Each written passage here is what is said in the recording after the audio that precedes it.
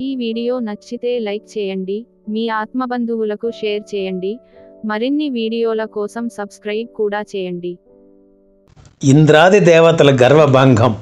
ఇంద్రుడు అంటే ఇంద్రియాలను జయించిన వాడని అర్థంలో తీసుకుందాం. దానికి ఒక కథగా చెప్పుకుంటూ పురాణాలను తెలుసుకుందాం. సాలీడు దాని చుట్టూ గూడు నిర్మించుకొని అందులో ఉండి బయటపడుతుంది. కానీ మనిషి ఒక్కొక్క బంధాలు అనుబంధాలు అని నా కులం మతం నా భార్య పిల్లలు బంధువులు ఆస్తులు పదవులు కీర్తి హోదా అనే వాటిని చుట్టూ నిర్మించుకుని వాటి నుండి బయటకు రాలేకపోతున్నాడు. దేవతలు రాక్షసులకు ఎప్పుడూ వైరమే. ఎప్పట్లాగే ఓసారి యుద్ధానికి దిగారు. దేవతలు విజయం సాధించి విజయ గర్వంతో తమ కంటే గొప్పవారు లేరనుకున్నారు. ఆ గర్వాన్ని గమనించిన పరమేశ్వరుడు వారికి బుద్ధి చెప్పాలనుకున్నాడు. ఒకరోజు అమరావతి పట్టణంలో ఇంద్రుని దర్బారు జరుగుతోంది. దేవతలకు పాఠం నేర్పడానికి ఇదే తగిన సమయం అనుకుని యక్షుడి రూపంలో ప్రత్యక్షమయ్యాడు పరమేశ్వరుడు. ఆ తేజోవంత రూపం చూసి ఆశ్చర్యపోయిన దేవతలు వివరం తెలుసుకోమని అగ్నిని పంపారు. అగ్నిదేవుణ్ణి చూసి నీ శక్తి సామర్థ్యాలు ఏమిటి? అని అడిగాడు యక్షుడు. తేజస్వి నా పరాక్రమం మీకు తెలియదా? భూమిపై కనిపించే వస్తువులన్నింటినీ భస్మీపటలం చేస్తాను అన్నాడు అగ్ని. వెంటనే ఓ గడ్డిపోచను చూపి భస్మం చేయమన్నాడు యక్షుడు. తన శక్తినంతా ఉపయోగించిన ఆ గడ్డి పరకను దహించలేకపోయాడు. అగ్ని సిగ్గుతో వెనుతిరిగి యక్షుని తత్వాన్ని తెలుసుకునే సామర్థ్యం తనకు లేదని చెప్పాడు. దేవతలు ఈసారి వాయువుని పంపారు. భూమి మీద ఉన్న దేన్నైనా ఎగరగొడతాను. ఒక్క క్షణంలో భూమి ఆకాశాలను కలిపేస్తాను అన్న వాయుదేవునితో ఈ గడ్డిపోచును ఎగరగొట్టు అన్నాడు యక్షుడు. వాయువు తన శక్తిరంతా ఉపయోగించిన దానిని కదిలించలేకపోయాడు. తల వంచుకొని తిరిగి వెళ్ళి యక్షుని తత్వం తనకు బోధపడలేదని చెప్పాడు. తర్వాత పంపిన ఇంద్రుడు వెళ్ళేసరికి యక్షుడు లేడక్కడ. ఇంద్రుడు అతడి కోసం వెతుకుతుండగా పార్వతీదేవి ప్రత్యక్షమైంది. ఇంద్రుడు నమస్కరించి విషయం చెప్పాడు. ఇంద్రా నువ్వడిగిన యక్షరూపం సాక్షాత్తు అపరబ్రహ్మస్వరూపం.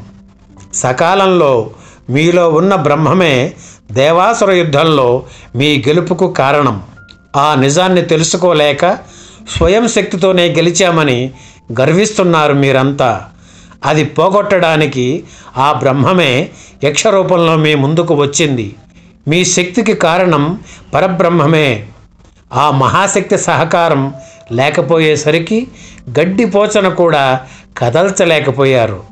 పరబ్రహ్మ స్వరూపాన్ని తెలుసుకున్న వాళ్ళు అజ్ఞానాన్ని వదిలి సర్వశ్రేష్టమైన బ్రహ్మంలో నివసిస్తారు అంటూ చెప్పి అంతర్ధానమైంది పార్వతీదేవి. కురు పాండవుల మధ్య పద్దెనిమిది రోజుల పాటు జరిగిన కురుక్షేత్ర యుద్ధంలో యోధాను యోధులంతా వీరమరణం పొందారు. అంతా పూర్తయ్యాక శ్రీకృష్ణుడు తన నివాసానికి వచ్చాడు. బుసలు కక్కుతూ కోడి తాచుల రుక్మిణి గుమ్మంలోనే శ్రీకృష్ణుణ్ణి అడ్డగించింది. కురువృద్ధుడు భీష్ముడు గురువృద్ధుడు ద్రోణుడు వీరిని కూడా విడిచిపెట్టలేదు. వారు ఎంతటి ధర్మాత్మలో మీకు తెలియదా? వారు నీతి తప్పని వారే ధర్మాన్ని ఆచరించేవారే అటువంటి మహాత్ములను సంహరించడానికి మీకు మనసు ఎలా వచ్చింది? అంటూ ప్రశ్నించింది రుక్మిణి. శ్రీకృష్ణుడు చిరునవ్వుతో మౌనం వహించాడు. వారు చేసిన పాపం ఏమిటి అని రెట్టించింది రుక్మిణి. ఇక తప్పదని పెదవి విప్పాడు శ్రీకృష్ణుడు. నువ్వు చెప్పినది నిజమే రుక్మిణి.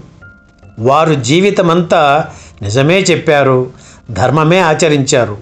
కానీ వారి జీవితంలో ఒకే ఒకసారి ఒక పెద్ద తప్పు చేశారు. ఏం తప్పు చేశారు? అని అడిగింది రుక్మిణి. పెద్దల సమక్షంలో నిండు కొలువులో అందరి ఎదుట ద్రౌపది వస్త్రాపహరణం జరుగుతుంటే పెదవి విప్పకుండా తలలు దించుకొని మౌనం వహించారు. జరుగుతున్న అకార్యాన్ని ఆపగలిగే శక్తి హక్కు ఉండి కూడా వారిరువురు మౌనం వహించడం అన్యాయమే అవుతుంది. ఆ ఒక్క తప్పు వల్లే ఇంత ప్రపంచం నాశనమైంది. ఇంతకు మించిన నేరమేముంది? అన్నారు శ్రీకృష్ణుడు. మరి కర్ణుడి సంగతి ఏంటి ఆయన దానకర్ణుడు అన్న పేరు సంపాదించాడుగా?